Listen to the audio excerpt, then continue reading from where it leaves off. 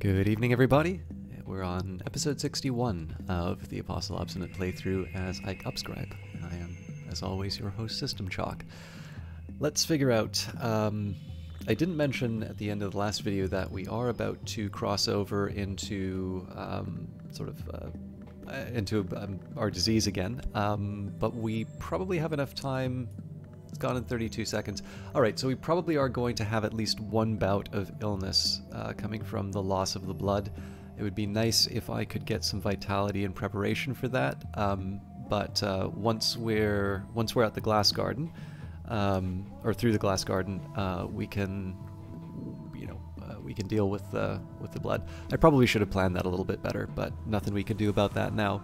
I've always wondered if the game would be improved by being able to cancel, like, so to a certain extent, you can kind of cancel a lot of different things that you would do in principle. Um, you know, I can stop reading or studying a work. You know, sometimes some textbooks I've had to read from the start uh, again because it's been too long since I've looked at them again. Um, but it's a little weird to have your study locked um, for a full minute. On the other hand, uh, I'm not necessarily sure that the game would necessarily be enhanced by the option. It would be easier for me to do some things, but things becoming easier for me is not necessarily um, the best decision for the game overall. But I've always wondered about it. One way or the other, though, I don't really think there's anything for me to do with the study verb other than work through the books that I already have, and I feel like we have already gotten a good handle on most of the threats that we would be facing. So we'll read The Sky of the Soul, the grand labor of Cal, an ascetic poet writing at the court of the Shadowless Kings. Cal's verses are brief, obscure, and often dominated by images of violence. A star is a pinprick, but the sun is a wound. So let's carry on, and we'll do kind of the rest of this as as time goes by. I think Old and Happy Far Off Things will turn into a painting. Um, the rest of it I think probably is pretty uh, pretty self-explanatory in terms of how we're going to approach it. We'll deal with disease when it emerges, we will destroy evidence when it comes up, uh, and we will try to avoid basically the consequences of our actions, to put it as bluntly as I can. Uh, okay, Season of Despair, so I want to be a little mindful of dread if it emerges. Although, if I'm going to be focusing on painting more, and it is something I have been focusing on, um, probably I can get away with um, I can probably get away with um, generating the contentment that way. One worry I do have is that if I want to get some, if I want to get some um, vitality, uh, I should be going to a work site, but of course I can't go to a work site immediately following this painting because I have the restlessness, and if I don't deal with the restlessness, that's going to turn into dread. Um, so I'm probably going to have a little, uh, a little difficulty with the disease when the time comes. I have not shirked. Oh yes, and we do need to continue on the expedition for um, Tower Revek. Okay, so Lantern or Knock, and then Heart or Grail. Okay, so I think I was right on the heart thing. Uh, let's add Pope Clifton as our lantern representative. And then between heart and grail, this is, um, well, I guess adding one of my Cyprians probably makes the most sense to deal with the the curse. That'll uh, that'll be sort of the fastest created something both distinctive and beautiful. It will very likely enhance my reputation. Alright, well, we got a lot of stuff. Oh, fascination. I wasn't expecting that. Um, something we can deal with, but uh, does take up my does take up my dream verb.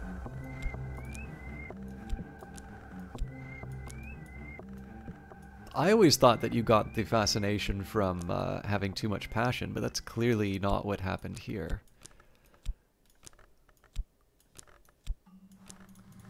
Okay, got a little staleness for that. No, that's not very surprising. Um, five funds is very welcome, though. So presumably we could pay for the the medicine if we wanted. Uh, I am, however, I think I'm gonna, I think I'm gonna have to deal with. Uh, I think I'm gonna have to deal with the. Uh,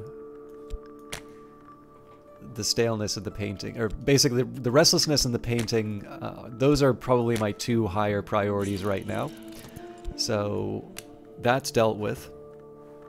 This I can get rid of with dreaming, but I want to get rid, you know, I want to use the dream for something else first.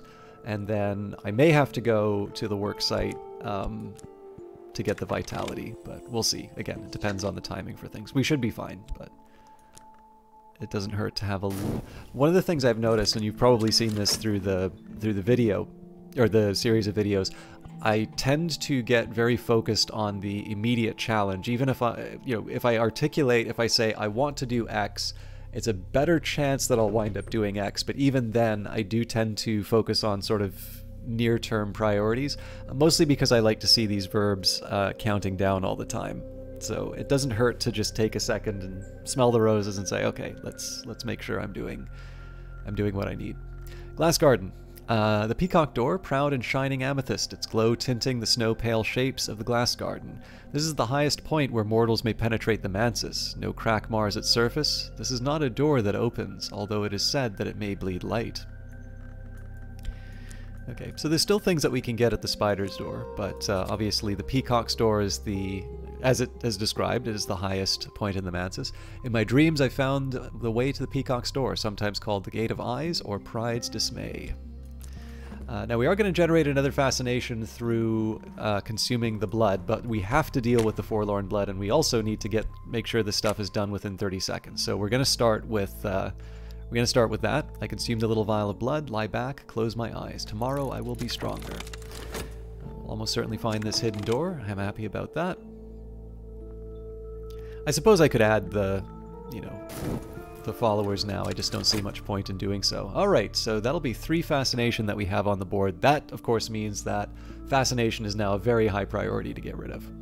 Um, it's always possible to be deader, Cal states. The Watchman goes before, none but seven may go after. Yet surely we are born to the glory as the sparks fly upwards. So another formula concursit.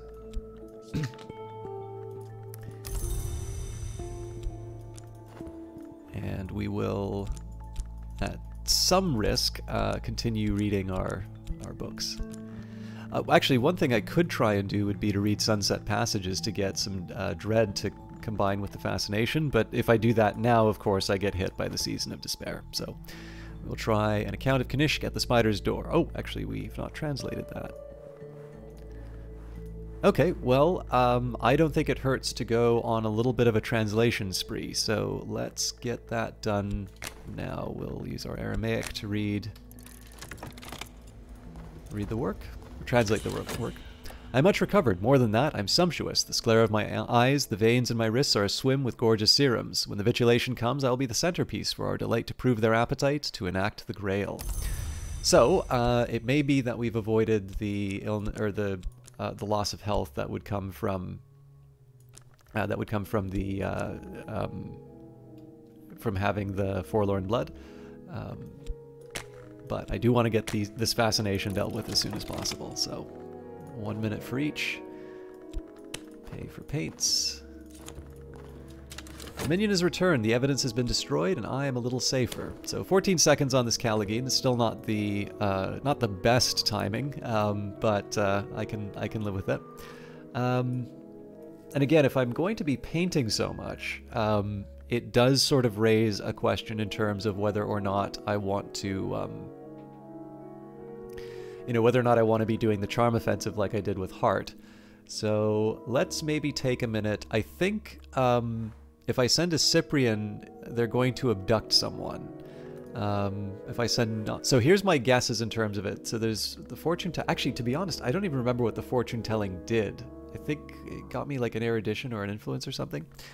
Um, Winter is just straight up murder. Uh, I believe this is to capture someone, possibly burglary, uh, fix my reputation.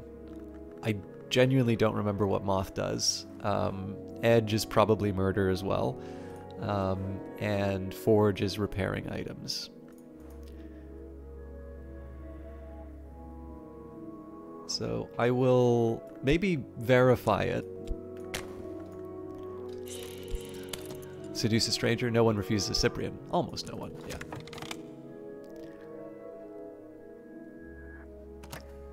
It's not the most effective use of my talk verb, but I wanted a second to you know, it, now's not a bad time for me to just check some of this stuff out. We're likely going to get hit by the the notoriety, but of course we've already destroyed the evidence, so it's not as big of a deal.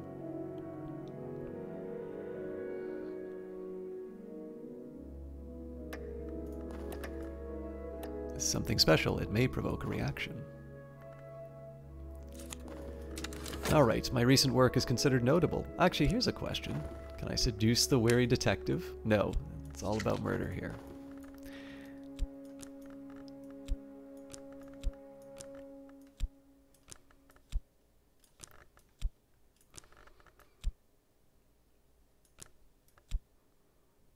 I always like the idea of the mystique being something that, like, you know, my fans are, are really insistent that I'm being persecuted um, and getting in the way of the Suppression Bureau that way. I have no idea if that's why Mystique is effective at getting rid of the, you know, like blocking the, the notoriety. Um, but, uh, all right. Uh, I'm just taking a second to think I was talking a bit about other things that I would want to do with the work verb, and yet it seems to me that painting is still the, the way to go here. So this one, I think I'll add the three notoriety. Um,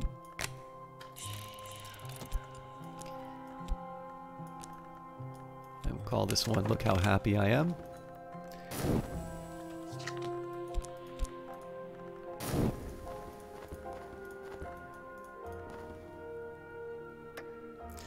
Expedition continues. Our expedition plans for the next challenge. It'll consume funds. I can add funds now, or I could send another follower. So uh, we send the Cyprian. It should be enough to deal with the.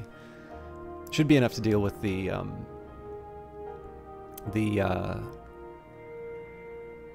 uh, the curse.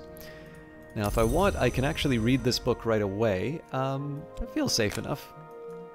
Kanishk sought to actually let's just take a second here. Look, Kaluli, uh, sorry, Cowley, Kanishk, Kanishk's victim and lover, wrote this account, perhaps posthumously. Kanishk sought to become a name, and uh, in pursuit of that end, he made Loch Cowley the vessel of his appetites, promising Loch that they would ascend together. At the spider's door, he betrayed his lover.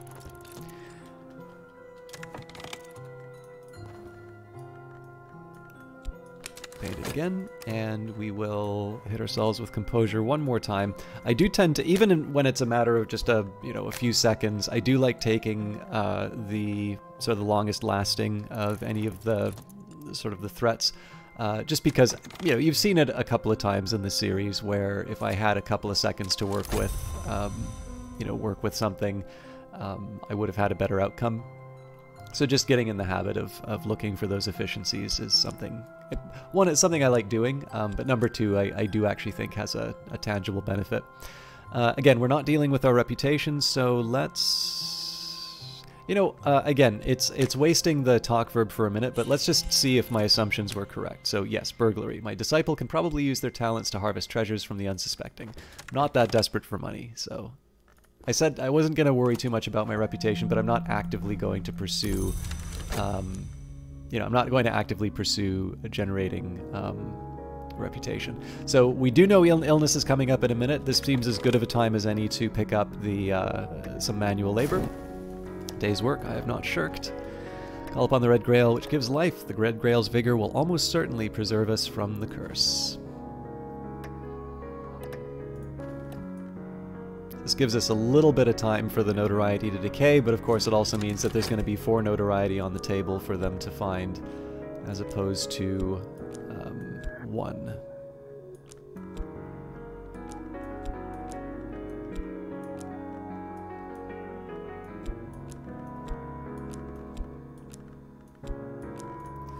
Still no staleness, although we're not earning as much uh, from the painting as we used to. So, Unskilled labor, backbreaking work for meager pay. Is this the best that I can do? Again, just hitting tab to combine the stacks.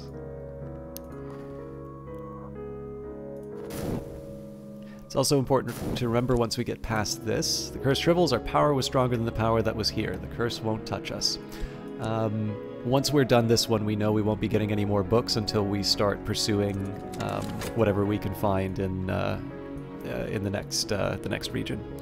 The Chiliarch listened to the betrayal and for, then forced Kanishk into his service. The Chiliarch cannot be denied. Cowley remained to write this work and to describe the outer magics of struggle and contest. So, an operation of the Labite, a series of mystic exercises that requires both dedication and terror.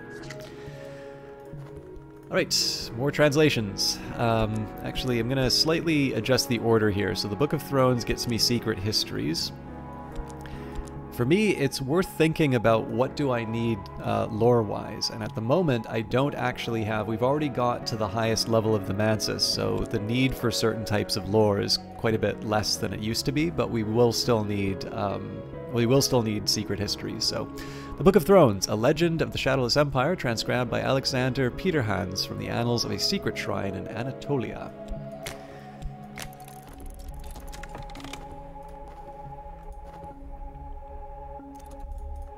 Alright, and 30 seconds for the fascination. Again, this is one of these cases where um, I try not to let my caution over, you know, override common sense. So can this fascination hurt me in 34 seconds? No. Um, the worst that could happen would be a season of visions pops up, but then it's going to need 60 seconds to activate.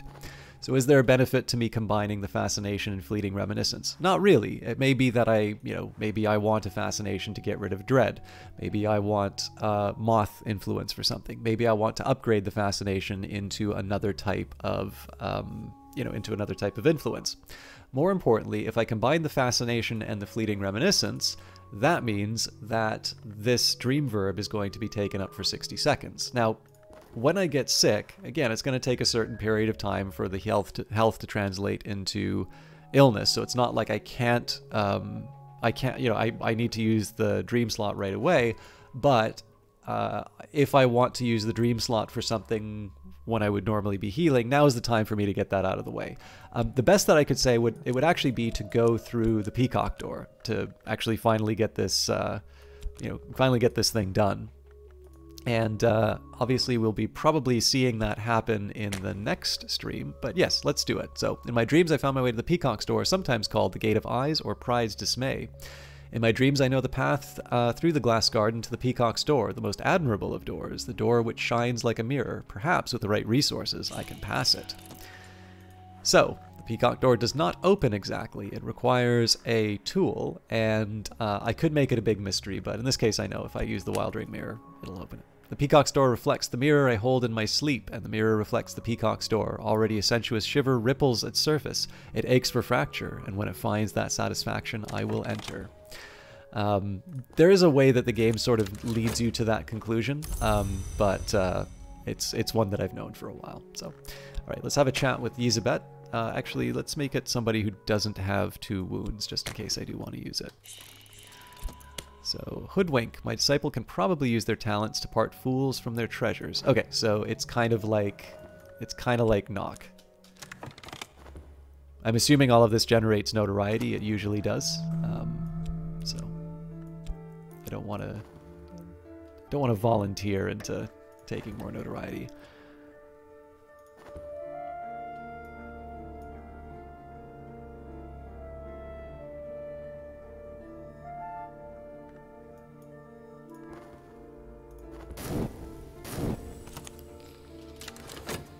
The day is done, but so am I. Uh, sorry, the day is done and so am I, but I've earned my pay. Alright. So I'm going to keep this vitality aside. Uh, in 36 seconds, we will combine uh, with the illness, and uh, we can go back to our painting now. So one nice thing is that we've lost some notoriety just from... Um, or well, at least some time on our notoriety just by doing another activity. Um, but in this case here, painting is my primary source of income right now, so I want... Actually, you know what, let's just keep... Let's really milk our reputation here.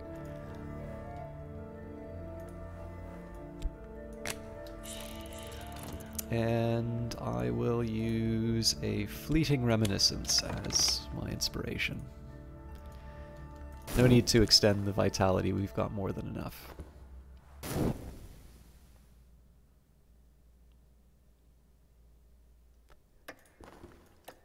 Beneath the tower is a cramped cellar with cracked slate walls. The proportions, it should be a perfect cube, but somehow uh, there are too many corners. Blue light festers at the junction of the ceiling and, the, and wall. The floor flexes slowly, like the skin of a bubble. It echoes to a stamped foot. What spaces open beneath? I always like these particular descriptions because this is, you know, if it wasn't already obvious, you know, you're starting to go into these places which are really sort of testing the the edges of, of sort of reality as we know it. The Book of Thrones, um, in the sorry, Legend of the Shadowless Empire, transcribed by Alexander Peterhans from the Annals of a Secret Shrine in Anatolia.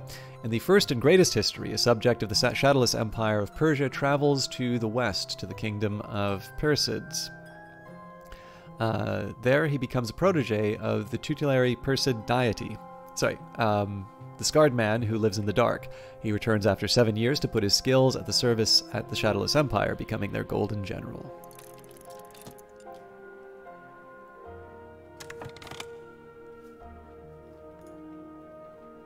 Starting to run, run at the edge of the timing, but I really wanted to finish. Um, I really wanted to finish the. Uh,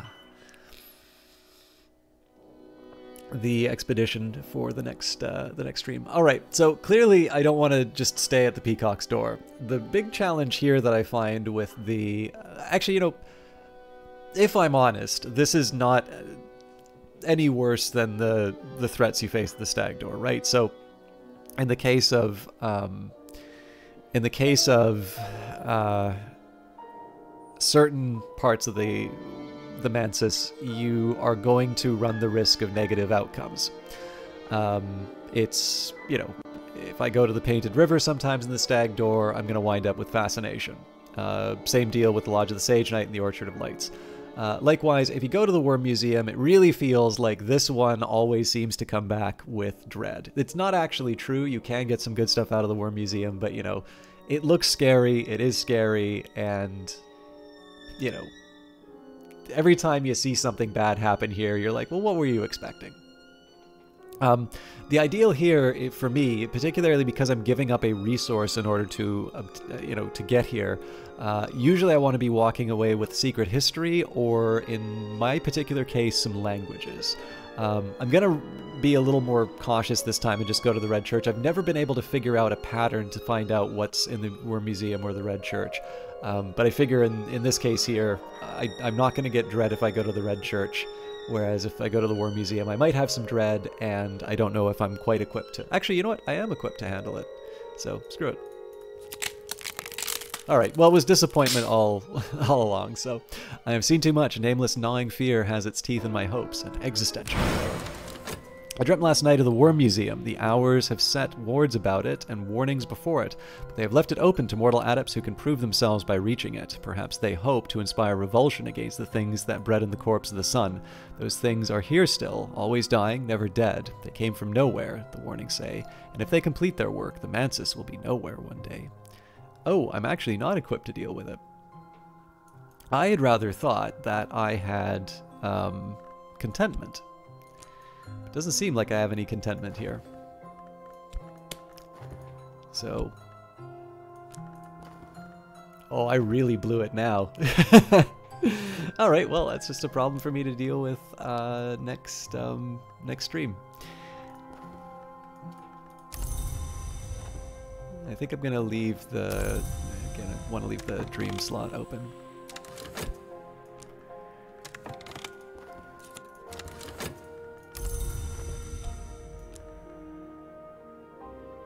So I do have a use for my Forge followers. I'm gonna get, oops.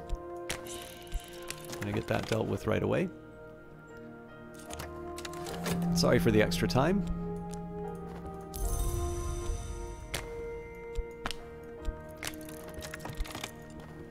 Alright, Fascination's coming up, so I probably want to keep an eye on the light in the skull. And here we are. Bundle the books into a sack. Hurry up, the hand holds to the tower's stump. The sky above ripples with cobalt aurora. The hills around are washed with shutters of blue light. There is a high and si singing sound from the stones of the tower as we leave. Lightning cracks from the sky, and suddenly everything is silent. The tower stump is gone. Alright. Let's try and get people back to where they need to be. So more notoriety. That should be the last for a little while. We've got Pope Clifton. Yeah, sorry, that's not true. There's going to be one more. Uh, and we have How the End Will Begin, a book of bleak prophecy that I cannot read. The Twin Serpent Tantra. The Furious Tantra. And Bitter Black Salts. No ordinary chemist would produce these dark gleaming crystals, not without the touch of the forge. All right, so again, um, where we're at in terms of the playthrough, we have completed all of the expeditions that will get us books. Um, our next few goals are going to be to understand Vak. There's actually two languages that I don't understand. There's Vak and Deep Mandaic, um, but Vak is the one that I need right now in terms of works. Um, there are a few sort of fires that I need to put out. One of them is going to be my reputation with the Suppression Bureau, but again, this is something that a Callaghan can handle. I probably want to keep one uh, in reserve. Well, I think I could probably send them on the expedition. Um, but yeah, we'll we'll clear out Foxley the Meadows, and then uh, really what we're going to be doing is uh, trying to sort of repair our reputation a little bit, get rid of some of the notoriety, so that I can build up uh, funds through Glover and Glover. Um, but again, there's no point in trying to do that until after. Uh, I've sort of finished my notoriety generating activities for a little while. So that'll probably be what next week's broadcasts are about. This is one of my longer videos, so again, I apologize for going over time, um, but I hope it was worth it for you. As always, if you liked the video, do feel free to leave a like uh, or a comment if you there was something that caught your eye on this one. I do always like reading those. If you've not done so already, feel free to subscribe, and you can uh, hit the notifications if you want to know when the videos come live. As always, uh, it's Wednesday at 6 and Friday at 6 uh, in the Eastern Time Zone. But until next time, thank you very much for watching. Enjoy your weekends, and I'll see you all on Wednesday.